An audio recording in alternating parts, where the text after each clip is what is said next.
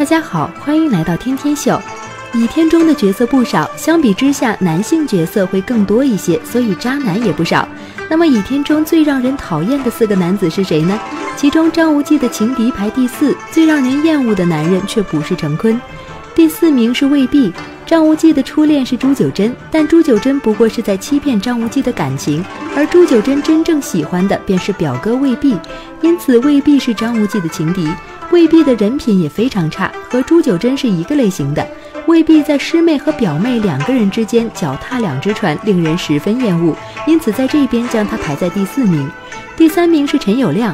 在《倚天屠龙记》中，陈友谅是陈坤的弟子。此人武功不高，但是心狠手辣，毒计颇多，在江湖上行事也是不择手段。陈友谅曾在冰火岛上围困谢逊，他打不过谢逊，就用计逃脱。在这个过程中，他的狠毒展现得淋漓尽致，可以说尽得陈坤的真传，因而让人非常厌恶。第二名是陈坤。在倚天当中，陈坤这个角色的狠毒是众所周知的。先是勾搭别人的妻子，后来又为了达到自己的目的，把弟子害得很惨，不仅杀光弟子全家，之后还让自己的弟子身败名裂。有这样的师傅，真是三生不幸。陈坤的形象令人厌恶至极。可是，在故事中，还有一个人比陈坤还让人厌恶，他是谁呢？